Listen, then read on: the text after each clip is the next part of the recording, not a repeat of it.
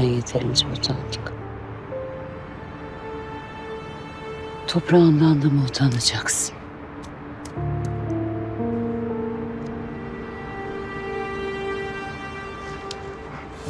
Sırası değil. Sırası değil. Sırası dünden. Artık tam sırası. Yıllarca ben korkak bir böcek gibi saklandım. Şurada yatan kadının hayattaki tek gerçek dostunun gölgesinde sıramı bekledim. Onca yıl. Gizli saklı yasaklı. Onca yıl. Utana sıkıla. Adice. Haince. Sıramı bekledim. Böyle olsun istemezdim. Ben onun gizli düşmanıydım. Ama o benim hayattaki tek gerçek dostum.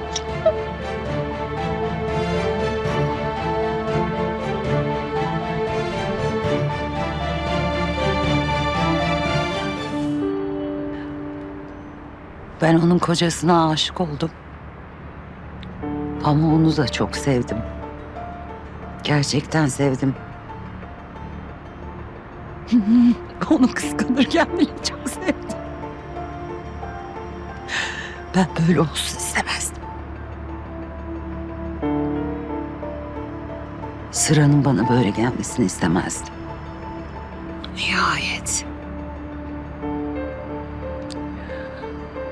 Sıra bana geldi işte. Artık bana arkanı dönmek için mazeretin yok. İnsanların söyleyecekleri, hakaretler, seni sevdiğim için kaybedeceklerim, sosyal çevrem, prestijim. Hiçbirisi umurumda değil. Ben sıramı kaptırmam. Ben sıramı kimseye kaptıramam.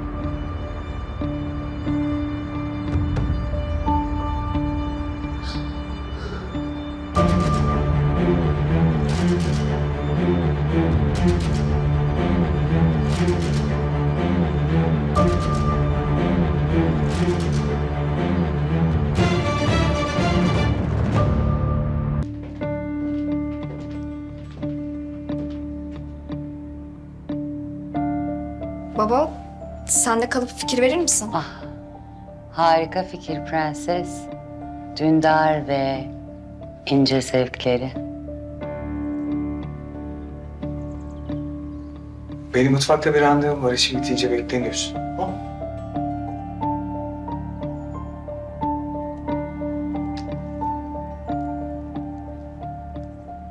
İyi çalışmalar.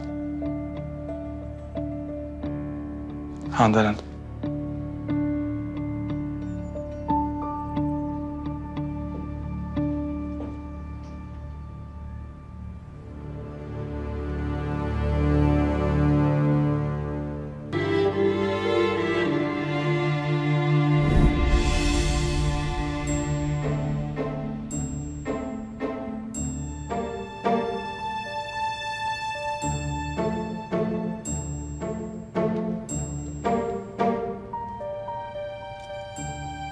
Göz hakkı. Bakanın değil mon chéri. Kapanın.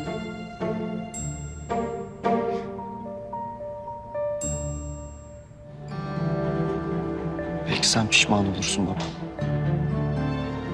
Çünkü o gece ne yaptığını ikimiz de biliyoruz. Aa, pardon. Kötü böldüm galiba. Füsun bizi... Bölmedim Füsun. Hepsi bu kadardı. Benim söyleyecek başka bir şeyim yok.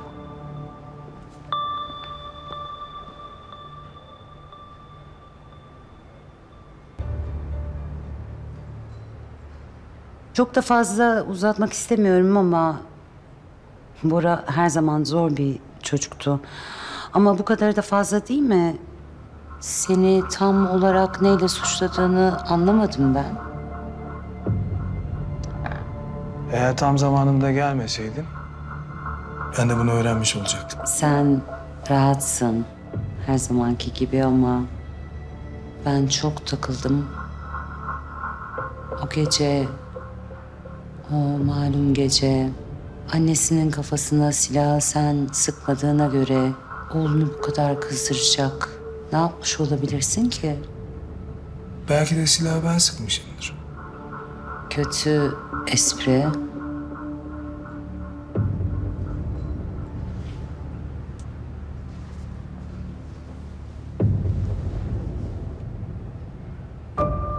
O geceyle ilgili benim bilmem gereken bir şey var mı sevgilim? Senin şu hayatta bilmediğin bir şey var mı Füsun?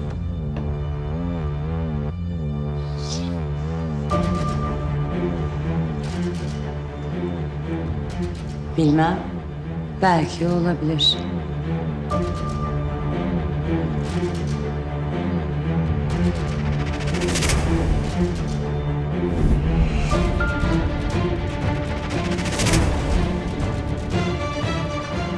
Aa, pardon bir tanem dağıldım bir an.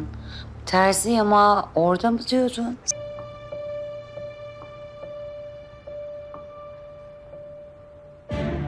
Kim olduğunu sormayacağım.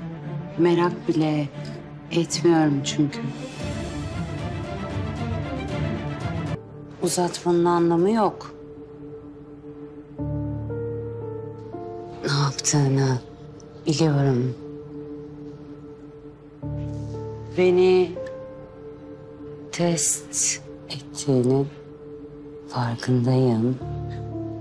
Çünkü Yıllarca Zerrin'i de böyle gözümün önünde hep böyle test ettin ya. Hmm. Ama o sınıfta kaldı. Canım benim. Kıskanç, histerik bir kadına dönüştü.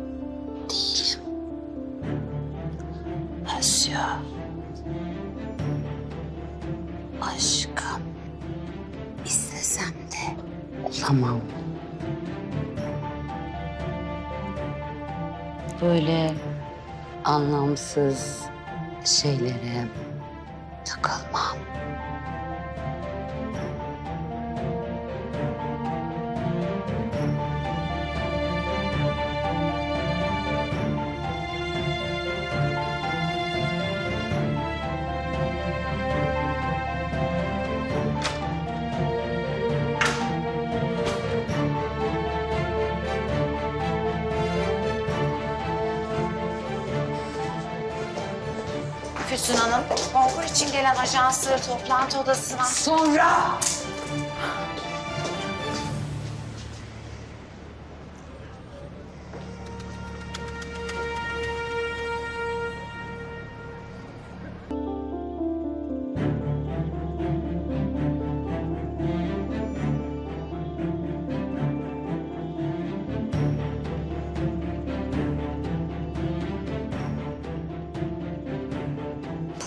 Aşağılık kompleksin hiç değişmedi.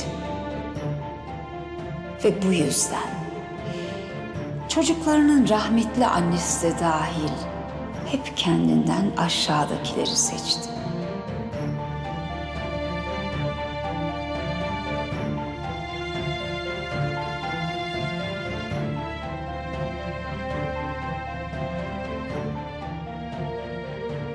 Ama bunu halledebilirsin. Aşağıya bakmak için değil, yukarı bakmak için terapi al.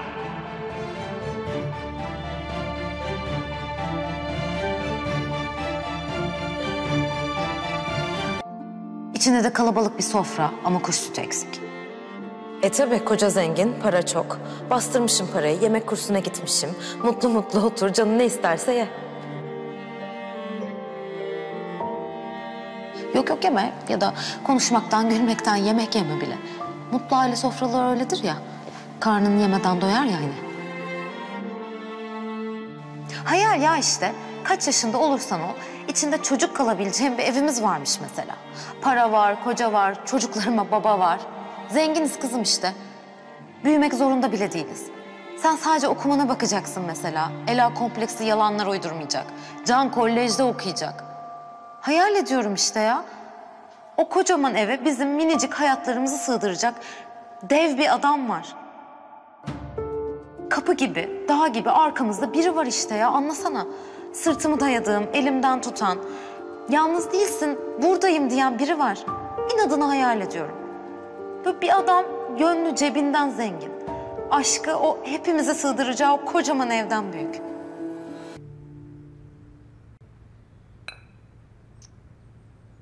Kızlar Dündar'ı uyandıramadı mı? Dündar gece geç mi geldi yoksa gece uykusunu mu alamadı? Günaydın. Günaydın. Günaydınlar. Bence uykusunu almış görünüyor.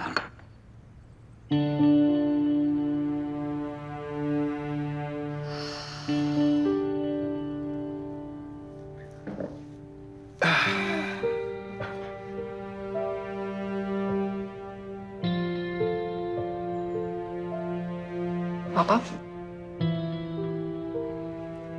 Tata valizini hazırla. Paris'e gidiyoruz. Aa, anlayamadım. 40 Mevlid'inden sonra bana eşlik mi edeceksiniz? Yarın gidiyoruz alacığım.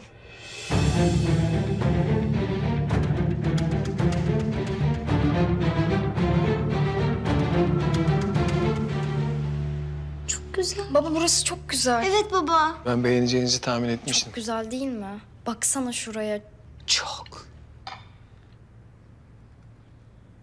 Ben Zerrin'in Mevlid'inden sonra gitmeyi düşünüyordum. E, Rakamlara fazla takılmayalım. Zaten gideceğiniz bir haftalık tatil. 40. günü burada olacaksınız. Sonra zaten gereken neyse usulüyle yerine getirilecek. Bence hiç takılma oraya. Endişe etme. Okul, terapiler, doktorlar buna razı olacak mı peki? Şatoda internet çekiyordur herhalde. Yine de Zerrin'in kırkından önce gitmeyi uygun bulmuyorum. Ne bu böyle acelemiz varmış gibi.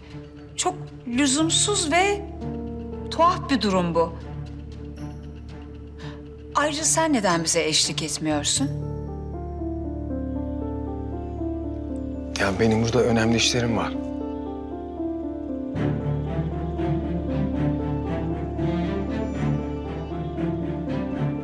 Yani internette halledemeyeceğim kadar.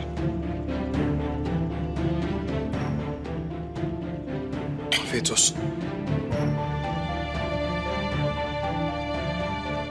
Kızlar size söz veriyorum. Bavulları birlikte hazırlayacağız. Müsaadenizle.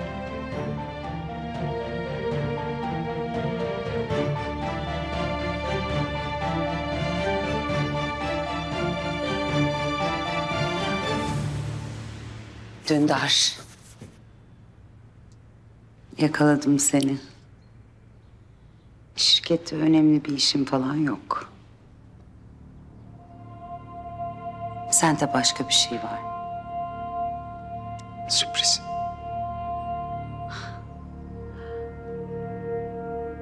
Ben en çok bana yapılan sürprizleri severim bilirsin. Bu herkes için sürpriz olacak. Füsun.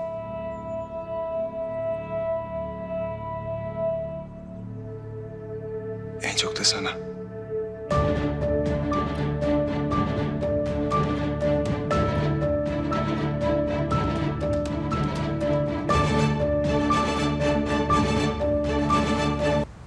Sherry dikkat et kendine. Tamam mı? Kardeşi sana emanet.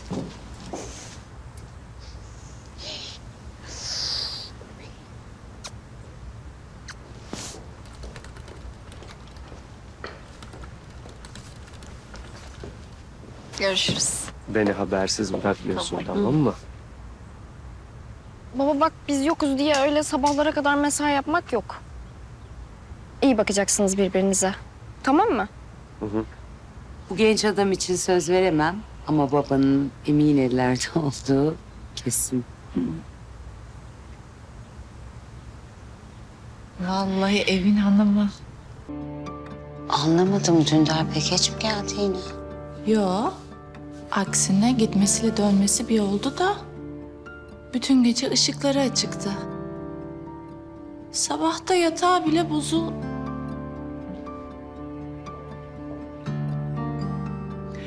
Ben kahvenizi söyleyeyim. Çok teşekkür ederim. Hoş geldiniz. Hoş bulduk Melek Hanımcığım. Neler oluyor içeride?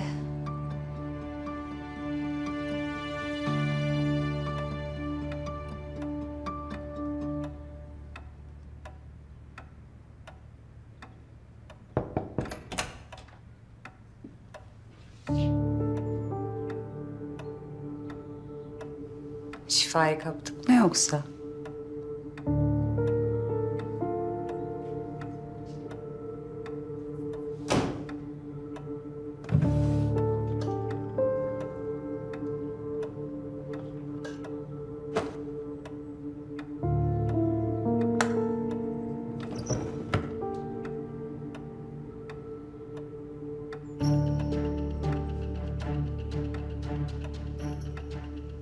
Hasta gibi dedi.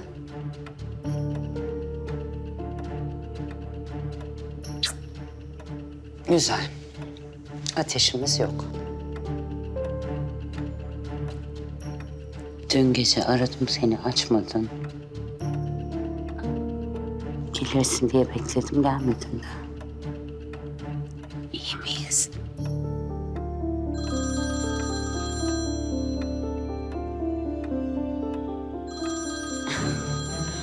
Organizasyon şirketi.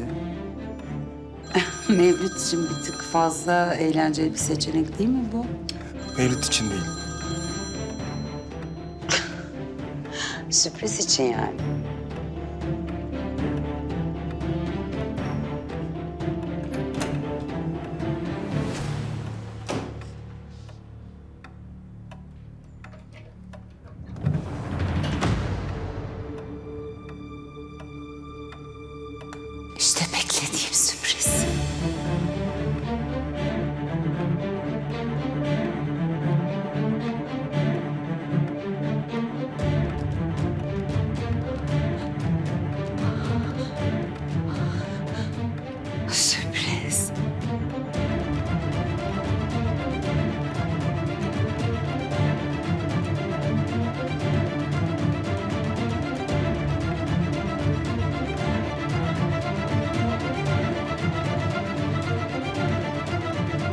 Sizi tekrar arayacağım. Sağ olun.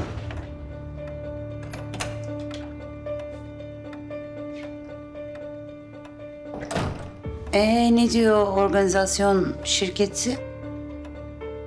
Yolunda mı her şey? Girer. Her şey her zaman yoluna girer.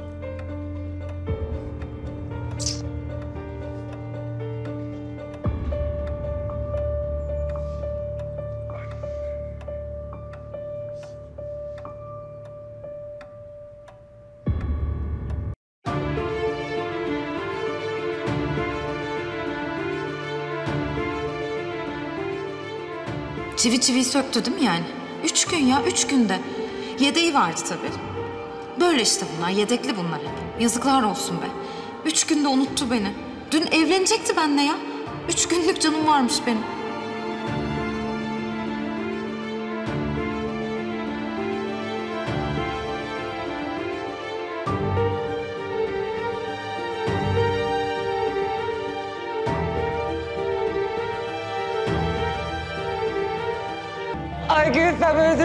Öldüreceksin beni. Çok tatlısın. Sos diyorum. Okey. Tamam, tamam tatlım. Tabii ki. Uçarak geliyorum. Tamam, tamam ben buradayım.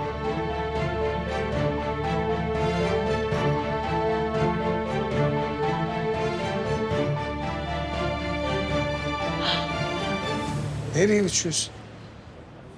Uçuyorum işte. Uçuyorum yani. Hmm. Ama asıl önemli olan herhalde yarın nereye konacağım değil mi? Ha bu arada yarın demişken Bora ile Barış Bu Bursa'daki şantiyeye götürecekmiş yurt dışından gelenleri. Sen de gidecek misin şantiyeye? Alo? Dündar. Dündar, neye daldın sen öyle?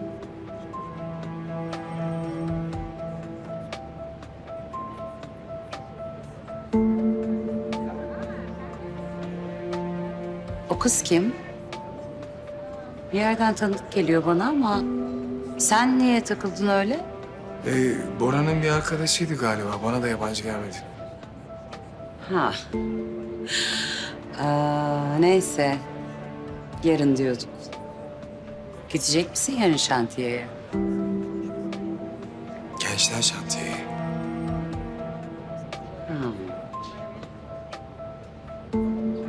Genç kalanlar Genç kalanların daha özel işleri var. sus. Detay söyleme. Hiçbir şey söyleme. Bilmek istemiyorum. Sürpriz olsun.